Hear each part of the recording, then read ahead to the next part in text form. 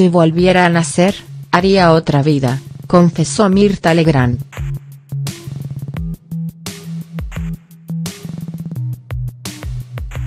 Mirta Legrand lleva una larga trayectoria conduciendo uno de los programas más exitosos de la televisión argentina. Esa responsabilidad fue acompañada de varias renuncias, o cosas que tuvo que dejar de lado situaciones de las que hoy se arrepiente. La chiqui tenía entre sus invitados a su propia hija, Marcela Tinaire, quien el lunes pasado ganó el Martín Fierro de Cable como mejor conductora. Por supuesto, las anécdotas familiares estuvieron a la orden del día y madre e hija hablaron sobre su relación. Cada momento fue muy emotivo, sin embargo, hubo una situación que logró sorprender a los presentes. Mirta se atrevió a confesar algo inesperado.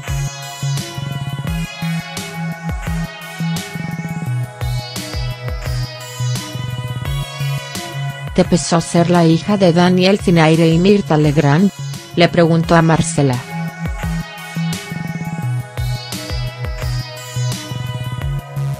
Y ella le respondió, no, no conozco a otro papá o mamá.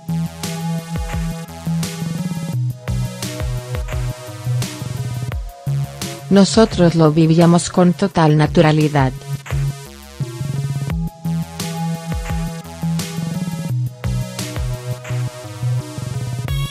Nos enseñaste la disciplina y el trabajo.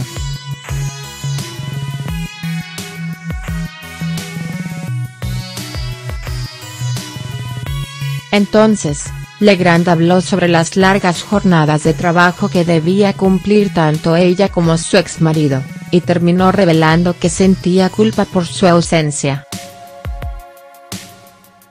Me sentía responsable por no estar con ellos.